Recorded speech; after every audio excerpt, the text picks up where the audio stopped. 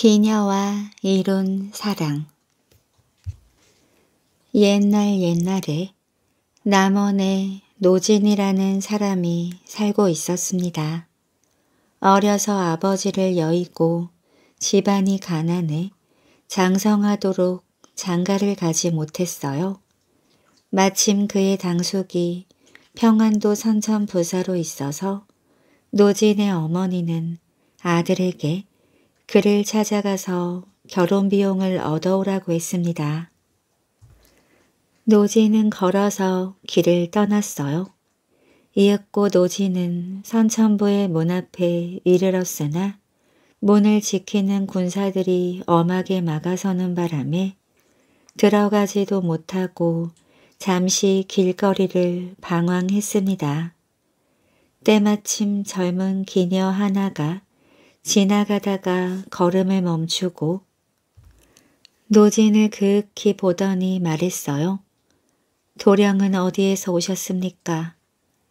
노진은 기녀에게 자신이 어디에서 온 사람인지 말해 주었습니다. 제 집이 여기서 가까운 곳에 있는데 도령님께서는 반드시 제 집의 거처를 정해 주시기 바랍니다. 제가 왜 낭자의 집에 머물러야 합니까? 제게 생각이 있어 그러하오니 부디 허락해 주십시오. 노지는 그러겠다고 약속을 하고 간신히 관하로 들어가 당숙을 만났습니다. 네가 여기에는 어쩐 일로 왔느냐? 노진이 사정을 얘기하자 당숙이 얼굴을 찡그리며 말했어요. 내가 부임한 지 얼마 되지도 않았고 관청의 빚도 많아서 매우 힘이 든다. 실망한 노지는 자신이 거처할 곳을 당숙에게 알리고 관할을 나와 그 기녀의 집으로 갔습니다. 기녀는 노진을 반갑게 맞이했어요. 두 사람은 기녀의 어머니가 차려준 저녁밥을 먹고 함께 밤을 보냈습니다. 노진의 사정을 듣고 기녀가 말했습니다. 제가 생각하기에 본관 사또께서는 수단이 매우 모자라는 분이라 비록 친척이라 해도 혼수 비용을 넉넉하게 얻지 못할 것입니다. 도령의 기골과 용모를 보니 장차 큰 인물이 되실 분인데 어찌 스스로 걸개게 행동을 합니까? 제가 모아놓은 은돈이 500냥 정도 있는데 여기 며칠 머무시다가 본관 사또를 만나지 마시고 이 은 돈을 가지고 돌아가시지요. 노지는 기녀의 마음이 고마웠지만 당숙에게 욕을 먹지 않을까 두려워하며 말했습니다. 당치 않소. 내가 그리 빨리 가버리면 당숙께서 섭섭해할 것이오. 도령은 가까운 친척을 믿지만 친척인 사또께서 그러지 않는 듯합니다. 여기서 여러 날을 머물면 괴로움만 더할 것입니다. 돈을 얻는다고 해도 불과 수십 냥 정도일 것입니다. 그것을 가지고 어디에다 쓰겠습니까? 차라리 이곳에 오지 않는 것보다 못할 것입니다. 그래도 미련이 남은 노지는 며칠 동안 낮에는 관문에 들어가 당숙을 만나고 밤이면 기녀의 집에서 지냈습니다. 당숙은 여전히 노진이 오는 것을 꺼렸어요. 어느 날 밤 기녀는 등잔불 아래에서 행장을 꾸리고 은돈을 내어 보자기에 쌌습니다. 새벽이 되자 기녀는 말에 짐을 싣고 노진에게 떠나기를 재촉했어요. 도령께서는 10년 안에 반드시 크게 귀히 될 것입니다. 저는 오늘부터 마땅히 품행을 깨끗이 하고 도령을 기다리겠습니다. 우리가 다시 만날 수 있는 방법은 이것밖에 없습니다. 부디 집으로 돌아가셔서 어머님을 편히 모시고 현숙한 부인을 얻어 행복한 가정을 이루기 바랍니다. 건강에 주의하고 몸을 잘 보존하십시오. 기녀는 눈물을 흘리면서 노진을 배웅했습니다. 노진은 하는 수 없이 당숙에게 하직 인사도 못하고 길을 떠났지요. 다음날 본관사또가 이 소식을 듣고 괴이하게 여겼으나 속으로는 돈을 주지 않아도 되니 다행이라 생각했습니다. 집으로 돌아온 노지는 가지고 온 은돈으로 결혼을 하고 재산을 일으켜 넉넉하게 생활할 수 있게 되었습니다. 노지는 공부에만 전념해 4, 5년 뒤에 과거에 급제했고 임금의 총애를 받는 신하가 되었습니다. 그는 곧 관서지방을 살피는 암행어사의 임무를 맡아 그곳으로 가게 되었지요. 노지는 그 기녀의 집을 찾아갔습니다. 그런데 기녀는 없고 기녀의 노모 혼자 살고 있었습니다. 노진을 알아본 노모가 그의 손을 잡고 흐느껴 울며 말했습니다. 제 딸이 선비님을 보낸 후 집을 나가 몇 년 동안 소식이 없습니다. 이제야 선비님을 배우니 꼭 제 딸을 보는 듯합니다. 망연자실하던 노지는 마음을 추스리고 난 후 말했습니다. 오로지 사랑하는 사람을 만나기 위해 여기까지 찾아왔는데 그 사람의 모습을 볼 수 없으니 가슴이 무너집니다. 그러나 그 사람은 분명 어딘가에서 나를 기다리고 있을 것입니다. 혹시라도 모친께서는 딸의 생사에 대한 소문을 듣지 못했습니까? 근래 제가 들은 바로는 성천에 있는 절의 경내에 들어가 몸을 의탁하고 자취를 감춰버려서 이후로 몇 년 동안 딸의 얼굴을 본 사람이 없다고 합니다. 이 또한 소문인지라 믿지 못할 뿐만 아니라 제가 늙고 기력이 없어서 거기까지 찾아갈 수가 없었습니다. 노모의 말을 다 듣고 난 노지는 곧바로 성천으로 가서 주위 절들을 샅샅이 돌며 그 기녀를 찾았지만 행방을 알 수 없었습니다. 그러던 차에 마침 한 남자의 이르니 깎아지른 절벽 위에 작은 초막 하나가 위태롭게 버티고 있었습니다.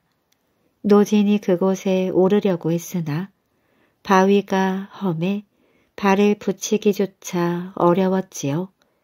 천신만고 끝에 올라가 보니 여승 서너 명이 앉아 있었습니다. 노진은 여성들에게 그 기녀의 사연을 말하고 행방에 대해 물어보았습니다. 한 여승이 말했어요. 4, 5년 전에 나이 스무 살쯤 되어 보이는 한 여자가 약간의 은돈을 가지고 와서 아래에 있는 남자에 바치고 소자 스님에게 부디 끼니를 잊게 해달라고 부탁했습니다. 그러고는 이곳에 올라와 머리를 풀고 얼굴을 가린 채 오로지 부처님 앞에 엎드려 기도만 하고 있습니다. 밥은 겨우 창틈으로 드리고 대소변을 할 때만 잠깐 나왔다가 인에 들어가니 우리조차도 그 사람의 얼굴을 보지 못했습니다. 이같이 한 지 벌써 여러 해라 다들 살아있는 부처님이라고 칭송하면서 감히 가까이 하지 못합니다. 노지는 마음속으로 그 사람이 기녀라 생각하고 소자승을 불러 창틈으로 말을 전했습니다. 남원의 노도령이 낭자를 만나기 위해 이곳에 왔으니 문을 열어주시지요. 소자승이 전하는 말을 들은 기녀가 소자승에게 대답을 보냈습니다. 만일 노도령이 왔다면 등과했습니까? 그렇지 않으면 보지 않을 것입니다. 한 번 맺은 언약을 어찌 지키지 않겠습니까? 소자승의 말을 전해 듣고 기녀의 굳은 절개와 의리에 감동한 노지는 자신이 등과에 어사의 신분이 되어 찾아왔노라고 알렸습니다. 그제야 기녀는 소자승을 물러가게 하고 노진을 본 앞으로 가까이 오게 한 후 말했습니다.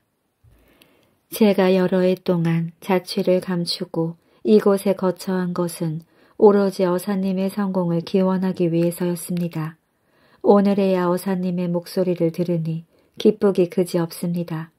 즉시 나가서 뵙는 것이 도리노나 여러 해 동안 산바람 머리와 씻지 않은 추한 몰골로 어사님을 뵙기가 어렵습니다. 원하옵건데 여기서 며칠만 머물러 주시면 저의 본래 모습으로 몸을 깨끗이 단장한 후 뵙겠습니다. 알았소. 며칠 후 기녀는 예쁘게 화장을 한 얼굴에 화려한 옷을 입고 나와 어사를 만났습니다. 슬픔과 기쁨이 함께 몰려와 두 사람은 서로 손을 잡고 흐느꼈지요. 두 사람의 내력을 알고 난 그 절의 스님들도 두 사람의 깊은 사랑에 감동했습니다. 어사는 본관사또에게 부탁해 가마와 여권을 빌린 다음 그녀를 선천으로 보내 모친과 상봉하도록 했습니다. 노지는 어사의 임무를 마친 뒤에야 비로소 사람과 말을 보내어 그 기녀를 집으로 데려왔답니다. 두 사람은 평생 사랑하며 살았다고 합니다. 부부의 약속 옛날에 김생이라는 사람이 살았습니다. 김생은 어려서 고아가 되어 가난했어요. 남의 집에서 머슴살이를 하며 작실히 돈을 모아 늦은 나이에 장가를 들었습니다. 전날 밤을 지내고 나자 부인이 김생에게 말했어요. 오늘부터 윗방의 방문을 막아야겠습니다. 아니 그게 무슨 말이오? 우리가 함께 지내게 되면 아이가 생길 것입니다. 김생이 어리동절하며 물었습니다. 우리 두 사람이 부부가 되었으니 당연히 아이들을 낳아서 키워야 되겠지요. 아이를 낳는 것은 좋은 일이나 우리가 가난해서 아이가 생기는 대로 낳아서 키우기는 어렵습니다. 당신은 윗방에 거처하시면서 집신을 짜고 저는 아랫방에서 길쌈을 해 살림을 꾸려나가겠습니다. 10년을 기한으로 하루에 죽 한 그릇만 먹기로 하고 집안을 일으키는데 힘을 쏟는 것이 어떻겠습니까? 10년씩이나요? 그때가 되면 우리도 잘 살게 될 것입니다. 김생은 부인이 시키는 대로 윗방의 문을 막고 부인과 따로 거처하면서 집신을 짰습니다. 김생의 집 뒤에는 버려진 밭이 있었는데 해가 저물면 반드시 예닐곱 개의 구덩이를 파기로 약속했지요. 설날이 다가오자 부인은 김생에게 말했습니다. 이 복주머니에는 개똥 한 가마니 값의 돈이 들어 있습니다. 큰 마을의 머슴들에게 나누어 주고 봄에 개똥을 달라고 하십시오. 봄이 되자 김생의 집에는 머슴들이 가지고 온 개똥이 가득했습니다. 김생과 부인은 그 개똥을 미리 파둔 구덩이에 골고루 넣고 덮은 다음 그곳에 봄 보리를 심었습니다. 그 해에 큰 풍년이 들어 거두어들인 보리가 백섬이나 되었어요. 또 그 자리에 담배를 심어 수십 냥의 돈을 벌었습니다. 부부가 성실하게 일을 해 6, 7년 정도 지나자 재물과 곡식이 불어나 집안이 부유해졌습니다. 그러나 여전히 식사는 죽으로 하루에 한 끼만 먹었어요. 그리고 약속한 10년이 되기 하루 전날 저녁에 김생은 부인에게 간청했습니다. 약속한 10년이 되었으니 이제 밥을 먹어도 되지 않겠소? 그러자 부인은 김생을 나무랐어요. 우리가 약속한 10년이 딱 내일인데 하룻밤을 참지 못해서야 되겠습니까? 그 말을 들은 김생은 무안하여 물러났습니다. 이윽고 10년이 되는 날 부부는 비로소 밥을 먹었어요. 김생은 눈물을 흘렸습니다. 10년 만에 먹어보는 밥이요. 다 부인 덕이요. 서방님께서 저와 한 약속을 지킨 덕분입니다.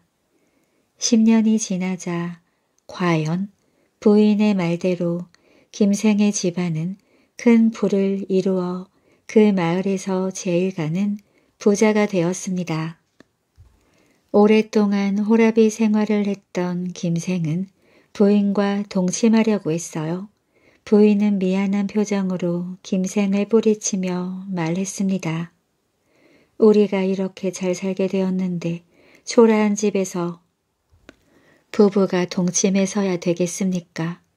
조금만 기다리십시오. 부부는 얼마 후에 큰 집으로 들어가 살게 되었습니다.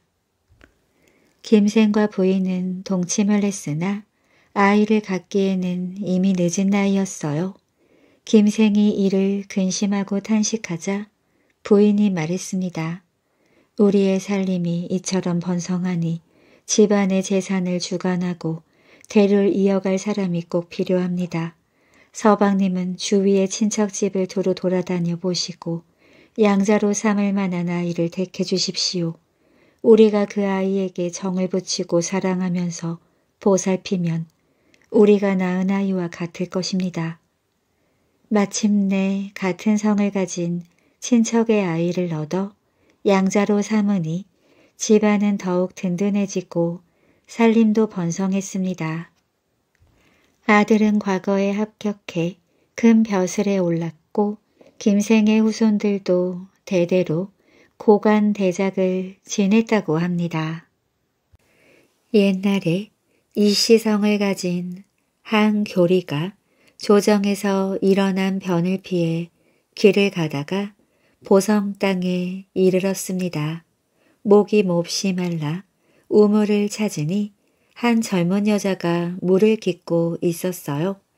내가 목을 좀 죽여야겠으니 물 한 바가지만 떠주면 고맙겠네. 젊은 여자는 물을 담은 바가지에 버들잎을 띄워 이교리에게 내밀었습니다. 이교리는 마음속으로 이상하게 여기고 물었어요. 내가 목이 말라 물을 마시려는데 버들잎을 띄워주는 것은 무슨 까닭인가? 선비님께서는 지금 목이 몹시 마른 듯합니다. 혹시라도 물을 급하게 마시다가 체하실까봐 천천히 마시라고 버들잎을 띄워드렸습니다. 이교리는 크게 놀라며 여자의 기특한 마음에 감복했습니다. 교수는 류대의 딸인가? 저 건너 내가 근처에 사는 유기장 집의 딸입니다. 물을 마신 이교리는 여자를 따라 유기장 집으로 가서 사위로 삼아줄 것을 정했습니다. 지나가던 유생입니다. 제가 대개 따님과 부부의 연을 맺어 이 집에서 몸을 의탁하며 살게 해주십시오. 유기장 부부는 이교리를 집안에 두고 일을 시킬 생각으로 그를 사위로 맞아들였습니다. 그러나 한양의 높은 집에서 편히 자란 이교리는 유기를 만드는 일은 커녕 아무 일도 제대로 하지 못했습니다. 날마다 하는 일 없이 낮잠으로 소위를 하니 화가 난 유기장 부부가 딸을 불러 꾸짖었어요. 우리가 사위를 맞은 것은 유기 만드는 일손을 덜어볼까 하는 바람 때문이었는데 어찌 사위놈은 아침 저녁으로 밥만 축내며 빈둥거리기만 하는가. 너의 서방은 밥주머니에 불과하니 앞으로 밥의 양을 반으로 줄여서 먹이도록 해라. 딸은 구박받는 남편이 불쌍하고 민망해 매일 솥바닥에 누룽지를 긁어 남편을 한 술이라도 더 먹이려고 애를 썼습니다. 두 사람의 정은 날이 갈수록 깊어졌습니다. 몇 년이 지난 뒤에 새 임금이 즉위해 조정을 바로 세우고 그 전 임금에게 죄를 받아 죽거나 귀양을 간 사람들을 모두 사면했습니다.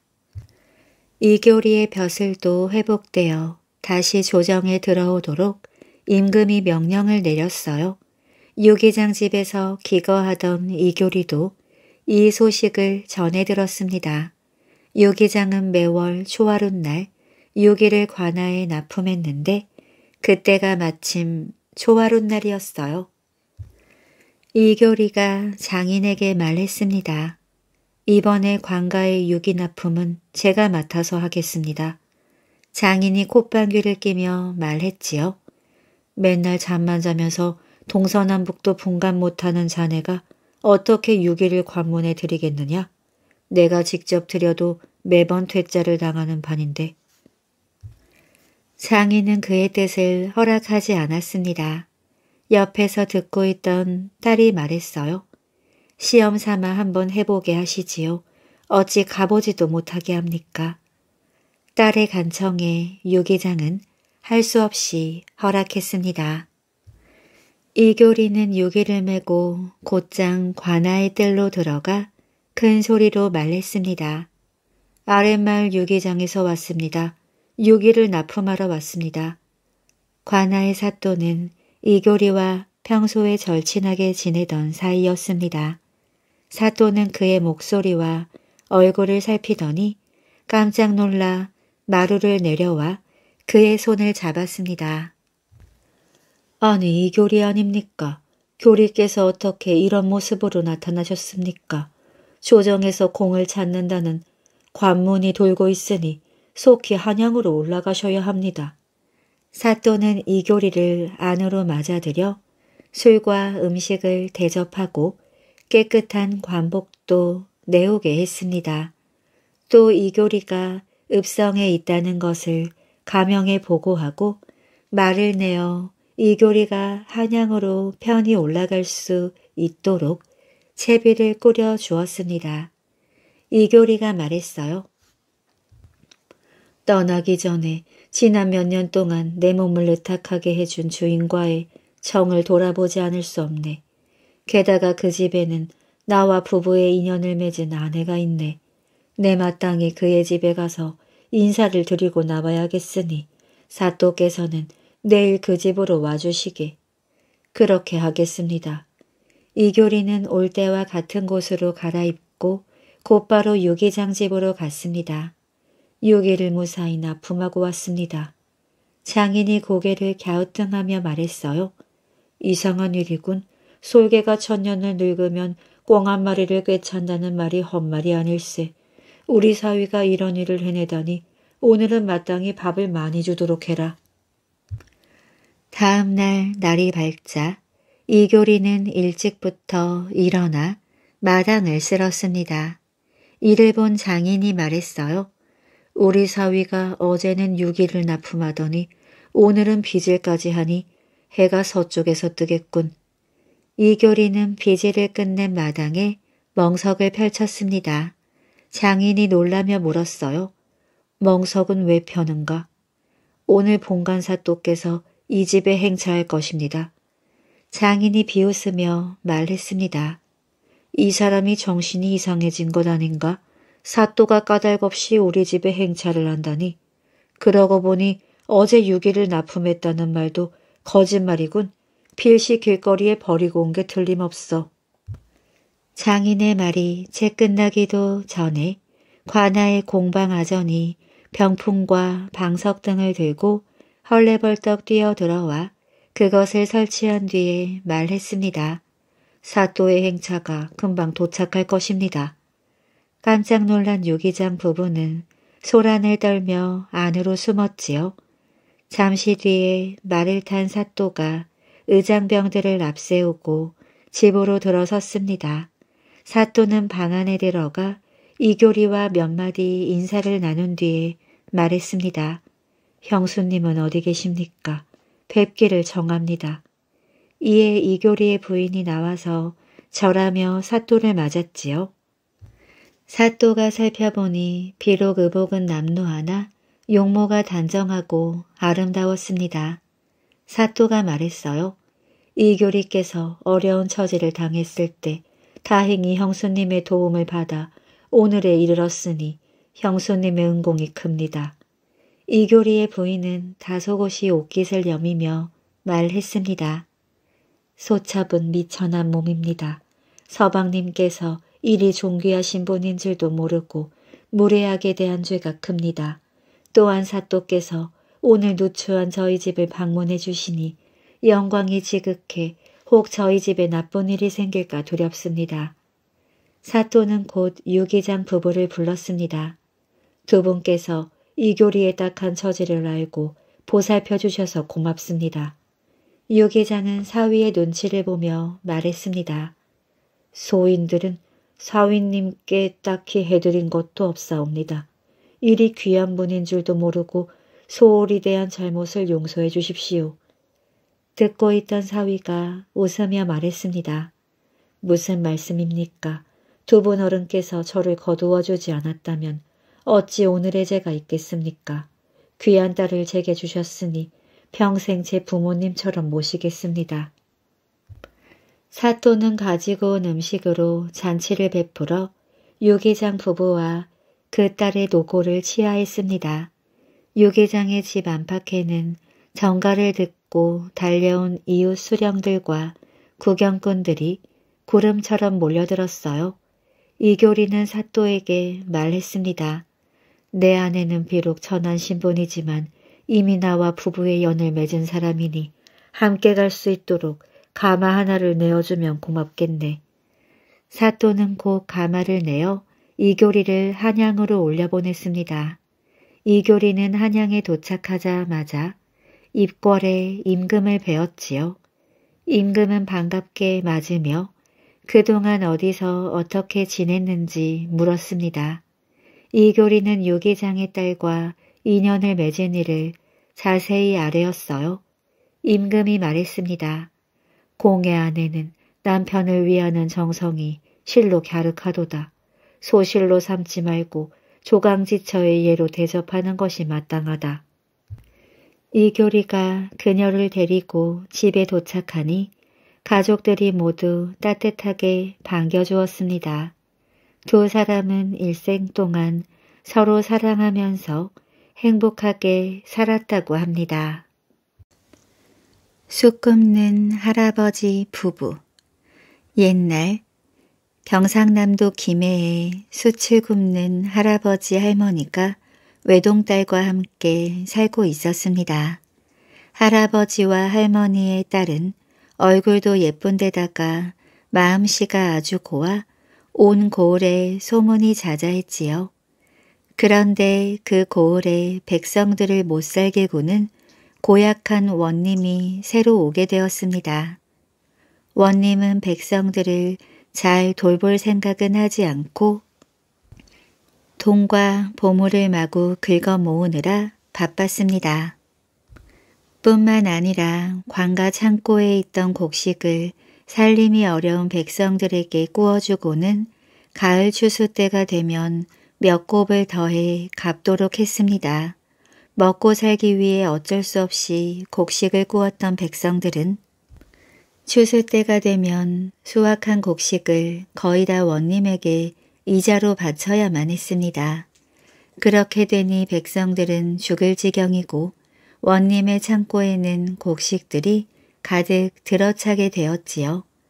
숯 굽는 할아버지도 열심히 나무를 베어다 숯을 구워 팔았지만 다른 사람들과 마찬가지로 하루 두 끼 먹기도 힘들었습니다.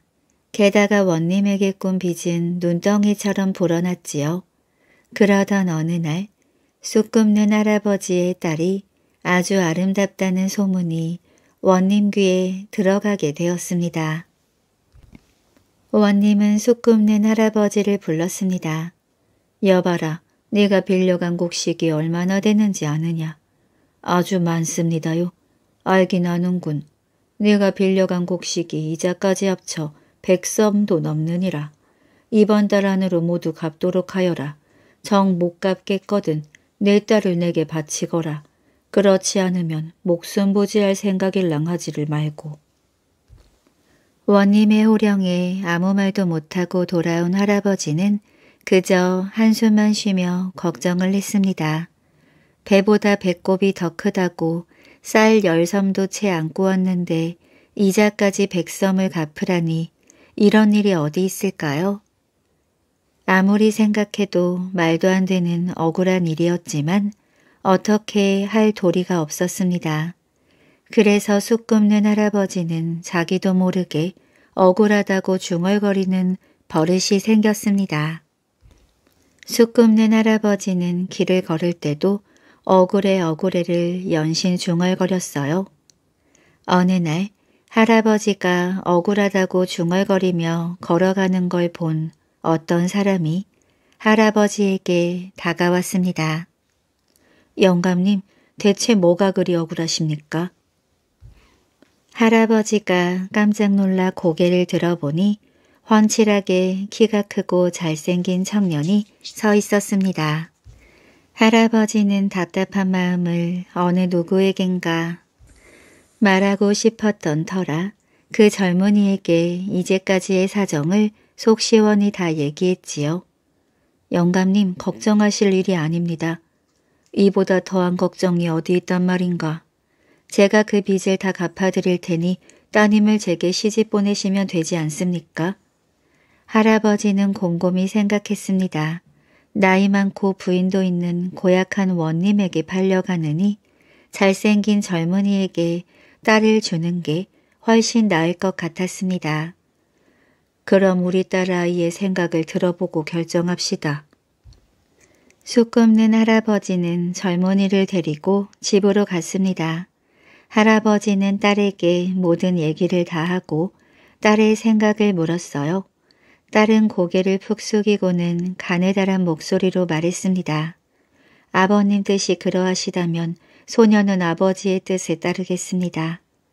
딸의 말이 떨어지자 젊은이는 품 안에서 동그러미를 꺼내 할아버지에게 주었습니다. 이거면 빚을 갚고도 남을 겁니다. 전 따님을 데리고 떠나겠습니다. 청년은 할아버지 부부가 딸과 작별의 시간을 가질 새도 없이 떠나겠다고 서둘렀지요. 쑥 굽는 할아버지 부부는 넋을 놓고 젊은이와 딸의 뒷모습을 바라보며 눈물을 흘렸습니다. 그런데 젊은이가 딸의 손을 잡자마자 둘의 모습이 바람처럼 사라져 버렸습니다. 젊은이의 손에 이끌려간 딸은 눈 깜짝할 사이에 뒷산에 도착했답니다. 어둑어둑 날이 어두워지기 시작하고 있었어요.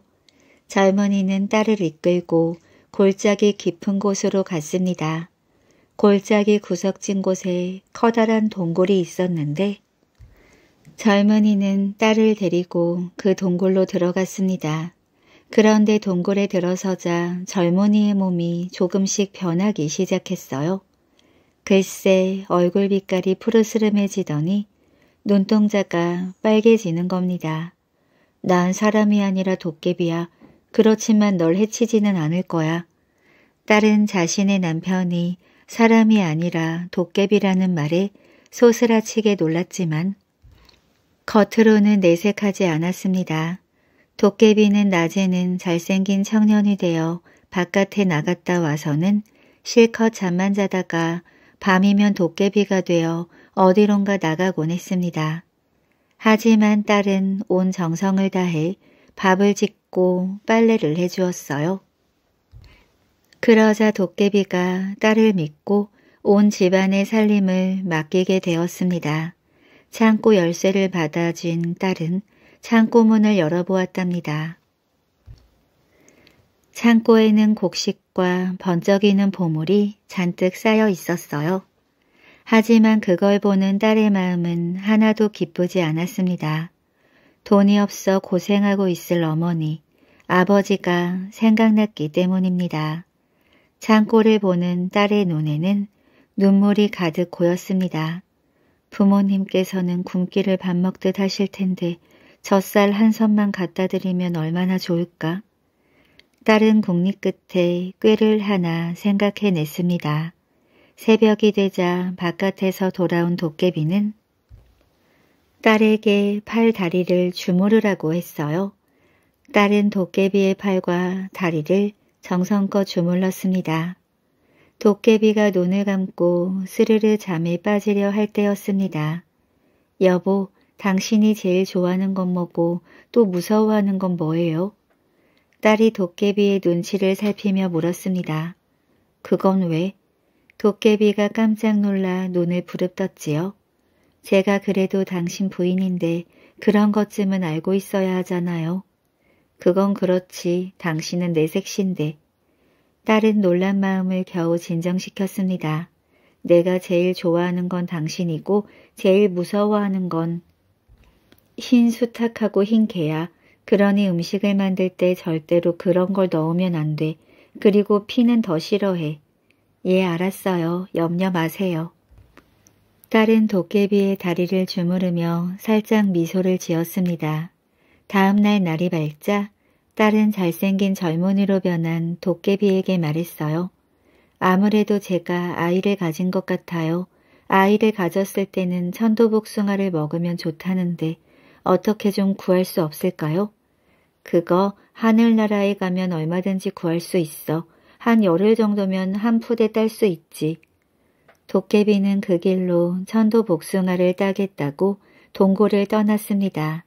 그러자 딸은 얼른 감나가는 보물을 싸가지고 동굴을 빠져나와 집으로 돌아왔어요.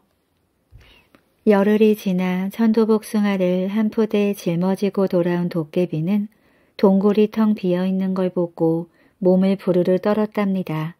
한편 딸을 보내놓고 눈물로 나날을 보내던 쑥 굽는 할아버지 부부는 갑작스럽게 딸이 나타나자 기뻐서 어찌할 바를 몰랐어요. 아버지, 글쎄 그 젊은이가 도깨비였어요. 뭐라고? 지금 하늘나라에 천도복숭아를 따러 갔는데 그 도깨비는 흰 수탉과 흰 개를 무서워하니 얼른 그것들을 구해다 놓으세요.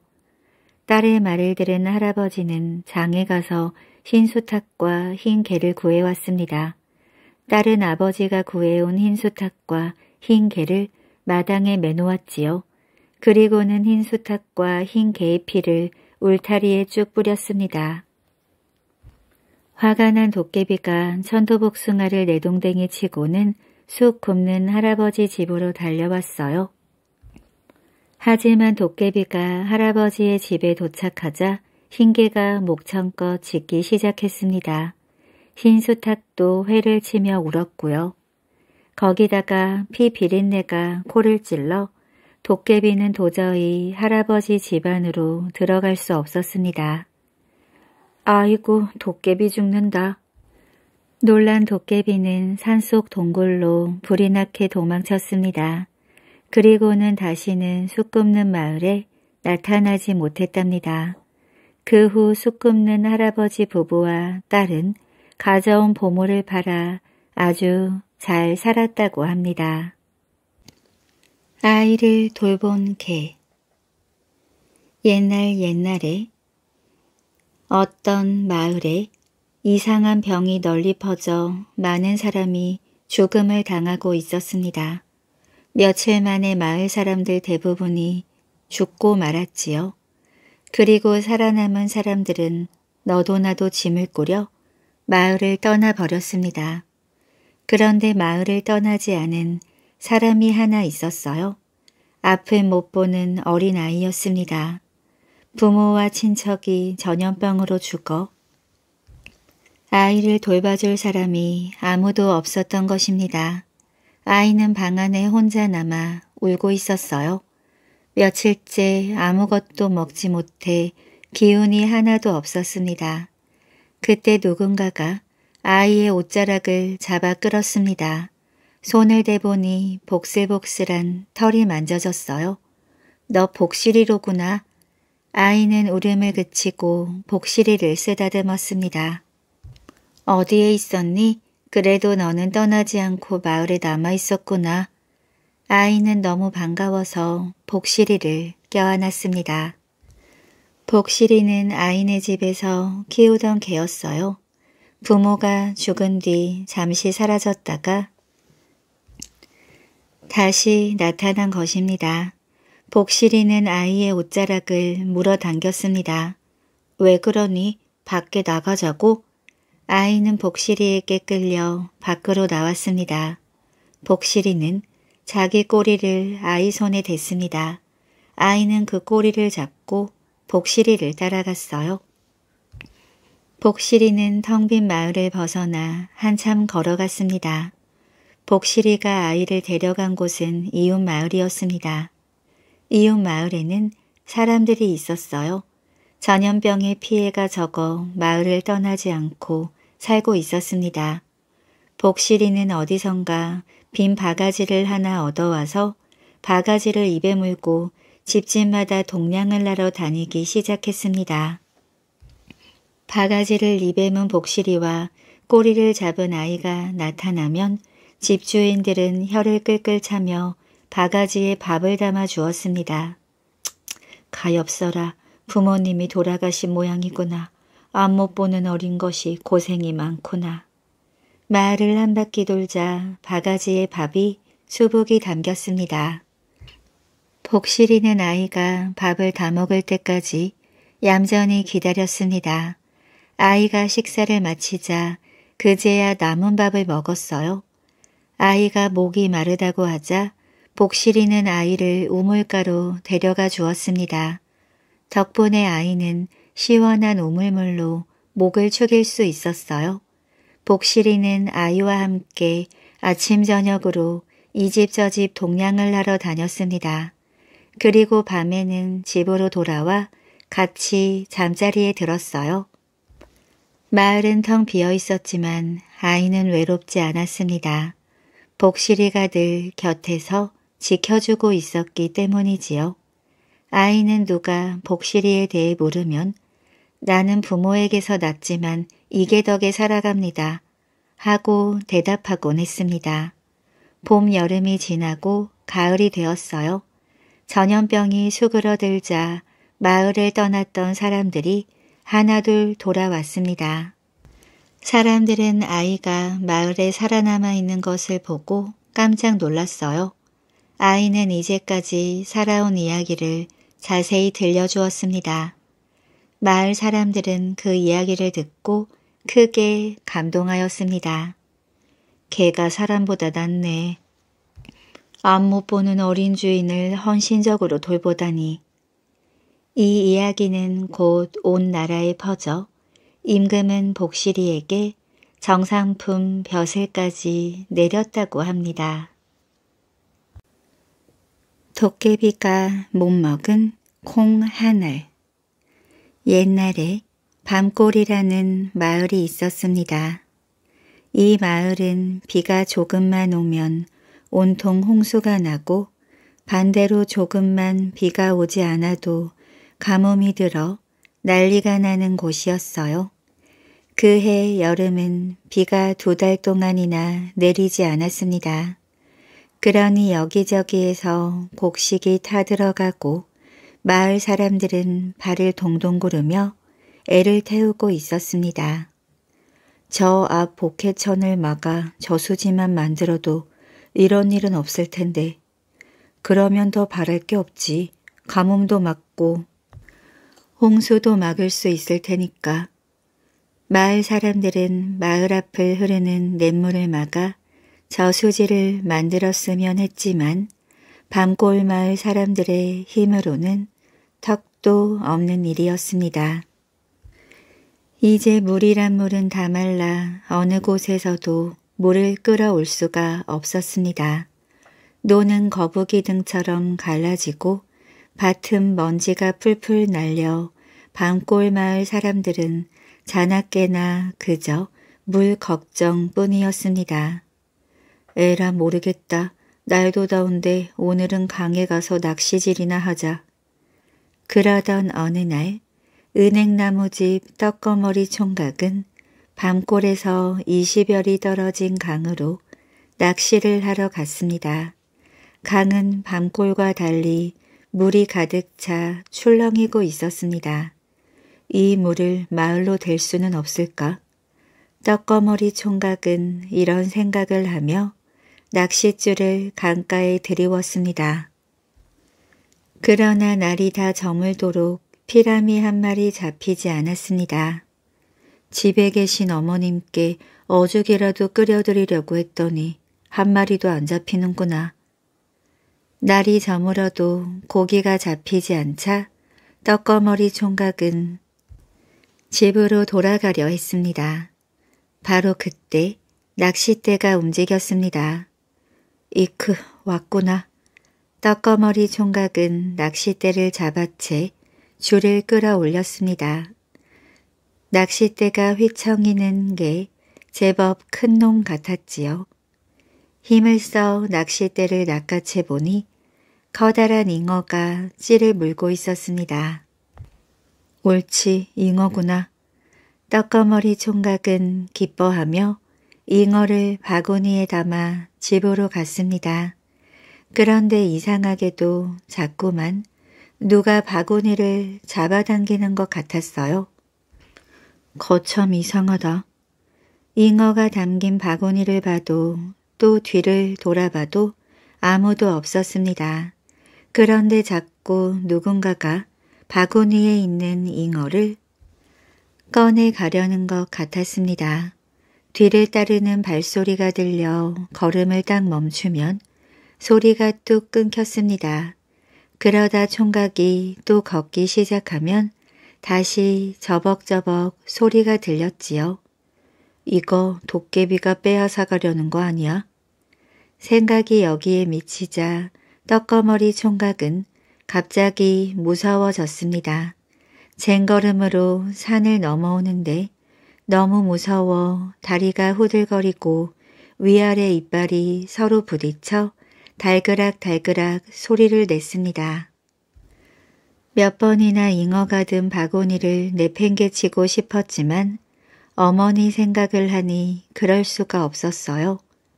소문난 효자인 총각은 늙으신 어머니의 몸보신을 해드리고 싶었기 때문입니다. 떡거머리 총각은 걸음아 날 살려라 하고 불이 나게 집으로 향했습니다. 총각을 따라오던 발자국 소리는 떡거머리 총각이 집 앞에 이르자 뚝 끊겼습니다. 이젠 살았구나. 떡거머리 총각은 한숨을 길게 내쉬었습니다. 머리에서는 땀이 주르르 흘러내렸어요. 어머니 여기 좀 보세요. 잉어 한 마리 잡아왔어요. 총각의 어머니는 총각이 준 잉어로 늦은 저녁을 지으려 했습니다. 그런데 잉어의 배를 가르는 순간 어머니와 총각의 눈이 휘둥그레졌어요.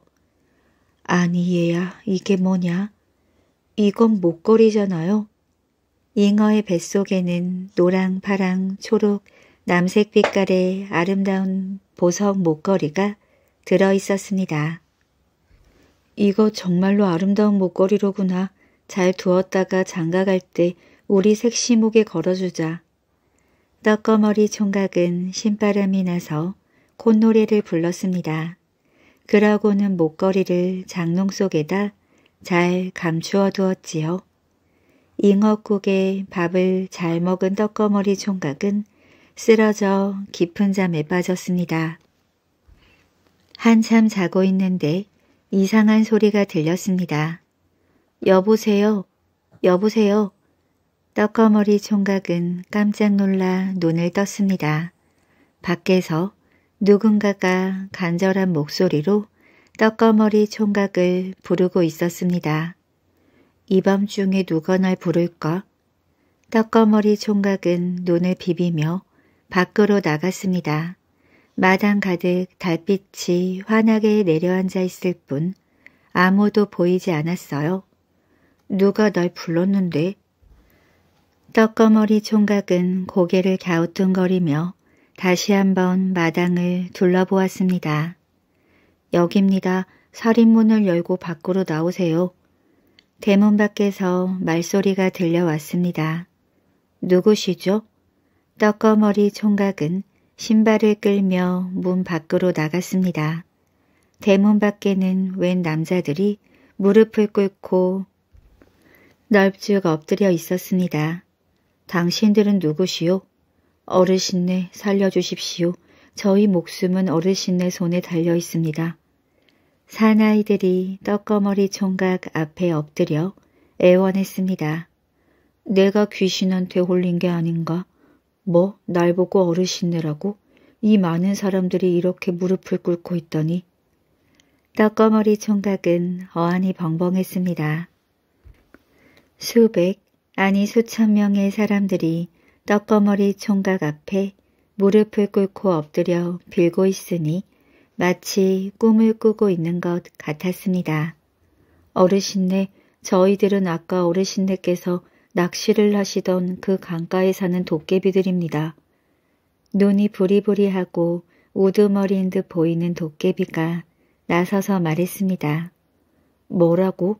도깨비라고? 떡거머리 총각은 그만 기절할 뻔했지요. 하지만 총각은 정신을 차리려 애쓰며 큰 소리로 말했습니다. 아까부터 내 잉어를 뺏으려 했던 놈들이 바로 내 놈들이구나. 예, 그렇습니다.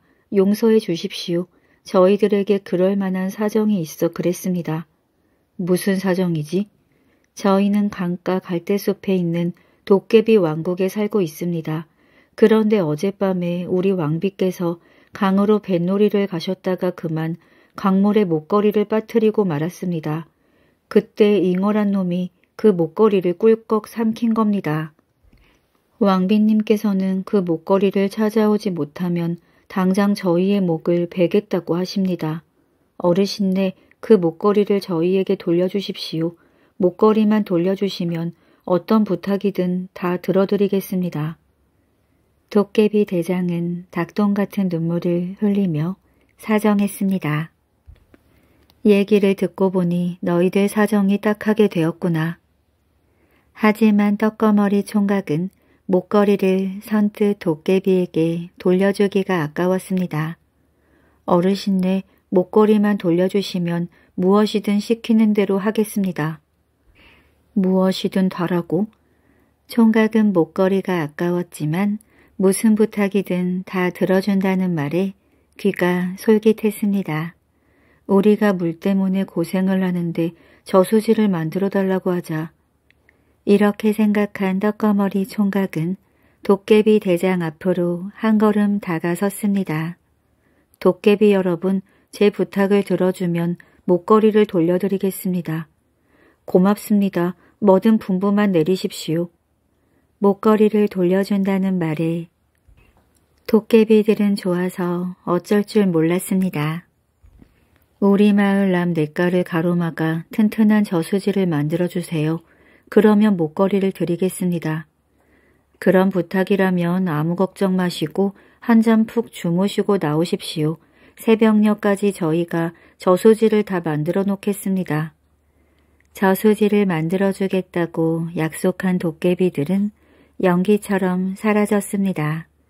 진짜로 냇가를 막아줄까? 저수지만 있으면 홍수와 가뭄 걱정을 하지 않아도 될 텐데. 떡거머리 총각은 기쁨에 가슴을 억누르며 새벽을 기다렸습니다. 새벽이 되자 떡거머리 총각은 장롱 깊숙이 숨겨두었던 목걸이를 가지고 냇가로 갔습니다. 떡거머리 총각은 벌어진 입을 다물지 못했지요. 냇가에는 산처럼 높다랗게 둑이 서 있었습니다. 어디서 가져왔는지 커다란 바위 덩어리로 둑을 튼튼하게 쌓아 놓은 것입니다. 도깨비님 고맙습니다. 떡거머리 총각은 도깨비들에게 큰절을 했습니다. 도깨비 여러분 밤새 일하시느라 배고프시죠? 제가 집에 가서 뭐 요기할 만한 걸 좀 장만해 오겠습니다. 어르신네 말씀은 고맙지만 먹고 갈 시간이 없습니다. 그러니 그냥 가겠습니다. 도깨비 대장은 공손하게 사양했습니다. 그게 무슨 말씀이십니까? 우리 마을을 위해 큰일을 해주셨는데 그냥 가시면 안 됩니다. 떡거머리 총각은 도깨비 대장을 붙들고 놓아주지 않았습니다. 어르신네 정 그러시면 콩 닷대만 볶아주세요. 콩알을 하나씩 나눠 먹으면 되니까요. 떡거머리 총각은 얼른 집으로 뛰어갔습니다. 어머니 어서 콩 닷대만 볶아주세요. 집 안으로 헐레벌떡 뛰어들어간 총각은 어머니에게 사정을 말하고 콩을 볶아달라고 했습니다. 도깨비가 저수지를 만들어줬다는 말을 들은 어머니도 너무너무 고마워하며 나게 콩을 볶았지요. 볶은 콩 닷대를 가져다 주자 콩 그릇을 받은 도깨비 대장이 콩알 하나하나를 도깨비들에게 나누어 주었습니다. 도깨비들은 차례차례 콩을 받아 맛있게 먹었지요. 아, 콩알이 하나 모자라는구나. 그런데 콩이 모자라 마지막 도깨비가 먹을 몫이 없었습니다. 미안합니다. 얼른 집에 가서 콩을 더 볶아 오겠습니다. 떡거머리 총각은 죄를 지은 사람처럼 고개를 숙이고 말했습니다. 어르신네 그럴 필요 없습니다. 제가 일한 몫을 가져가면 되니까요. 콩 하나를 얻어먹지 못해 시무룩한 표정으로 서 있던 도깨비는 둑 위로 올라갔습니다. 어르신네 이제 곧 아침이 되어 사람들이 올 겁니다. 저희들은 이만 물러가겠습니다. 도깨비 대장이 공손하게 인사를 하고는 물러갔습니다. 고맙습니다. 고생이 많으셨습니다. 떡거머리 총각도 공손히 인사를 하고는 집으로 돌아가 눈을 붙였습니다. 아침이 되어 떡거머리 총각이 냇가로 가보니 튼튼한 두 개 물이 고이기 시작해 제법 저수지 모양이 되어가고 있었습니다. 이게 꿈인가 생신가? 아니 이게 어쩐 일이야? 밤골 사람들도 깜짝 놀라 냇가로 뛰어나왔습니다. 도대체 어떻게 된 일이야? 사람들은 싱글거리며 서 있는 총각에게 물었습니다. 어젯밤에 도깨비들이 쌓아준 거예요. 그게 무슨 말이야? 하지만 밤골 사람들은 떡거머리 총각의 말을 믿으려 하지 않았습니다. 떡거머리 총각은 어제부터 오늘 새벽까지의 일을 낱낱이 얘기했습니다. 밤골 사람들은 그제서야 떡거머리 총각의 말을 고지 듣고 흐뭇한 미소를 머금었습니다. 아니 저 꼭대기 바위가 하나 빠졌잖아. 그때 최씨 할아버지가 손가락으로 툭맨 위를 가리켰습니다. 정말 꼭대기 바위 하나가 빠져 있었습니다. 하지만 그걸 본 총각은 빙그레 웃었습니다. 콩 하나를 못 얻어먹은 도깨비의 짓이라는 걸 알았기 때문입니다. 죽은 고기, 산 고기 옛날에 한양 사람들은 자기네는 똑똑하고 시골 사람들은 바보라고 얕잡아 보았습니다. 지금의 서울을 옛날에는 한양이라고 불렀어요. 그러나 시골 사람들 중에도 한양 사람들보다 더 똑똑하고 영리한 사람들이 있었지요. 어디 그뿐인가요? 한양 사람들 가운데도 시골 사람들보다 못나고 바보스러운 사람들이 있었습니다. 지주인 한양 사람이 추수를 하러 시골로 내려갔어요. 지주란 시골에 있는 땅 주인을 말하는 겁니다. 한양 사람의 논밭을 빌어 농사를 짓는 시골 사람은 지주 마음에 잘 들려고 했습니다. 그래서 농사를 짓는 시골 사람은 굽실거리며 지주를 맞았습니다. 초수하러 온 지주의 눈 밖에 났다 하면 다음 해에 농밭을 빌어 농사를 지을 수가 없기 때문입니다. 소작인 그러니까 지주에게 논밭을 빌어 농사를 짓는 시골 사람은 집에서 귀하게 기르던 닭을 잡아 지주를 대접했습니다. 지주는 잘 차려진 밥상을 받았지요. 지주는 먼 길을 오느라 너무나 배가 고팠습니다. 그래서 정신없이 밥을 맛있게 먹었지요. 그때 소작인의 어린 아들이 문 앞에 턱을 받치고 있었습니다. 맛있게 먹는 지주의 모습을 바라보며 군침을 흘리고 있었지요. 그 아이는 지주가 먹고 있는 닭고기가 무척 먹고 싶었습니다. 그래서 혹시나 고기 한 점 주지 않나 해서 지주를 바라보았던 것입니다. 지주는 배가 너무도 고팠기 때문에 소작인의 아이를 생각할 겨를이 없었지요. 지주가 어느 정도 배를 채웠을 때 일입니다. 그제야 지주의 눈에 소작인의 아이가 보였어요. 그러나 지주는 아이를 보고도 못 본 척하고 열심히 먹기만 했습니다. 저 혼자 맛있는 닭고기를 다 먹으려고 말이에요. 그러자 아이가 지주를 보고 혼잣말처럼 말했습니다. 아저씨는 죽은 닭고기를 맛있게 잡수시네. 라고 말입니다.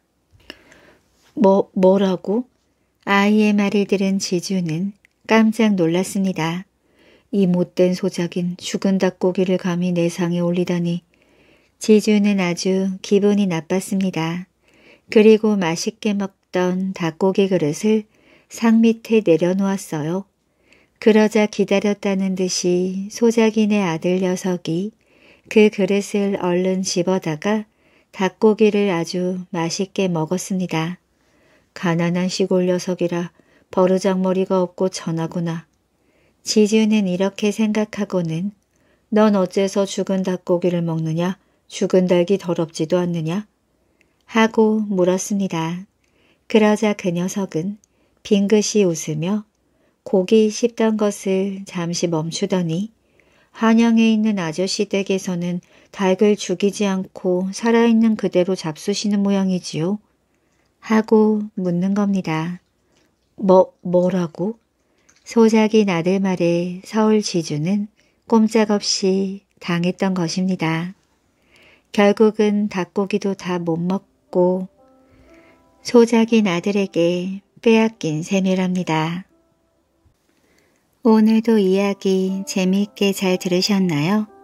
옛날 이야기에는 수많은 동물이 나오지만 그 이야기들 중 개는 단골 소재입니다. 대표적으로 기억에 남는 이야기는 불길 속에서 주인을 구한 오수에게 이야기입니다. 오늘은 눈먼 아이를 홀로 돌본 개 이야기를 들려드렸는데요. 이처럼 우리나라에 전해 내려오는 개에 얽힌 재미있는 이야기들을 듣고 있으면 개가 얼마나 충성스럽고 똑똑한 동물인지 알 수 있습니다.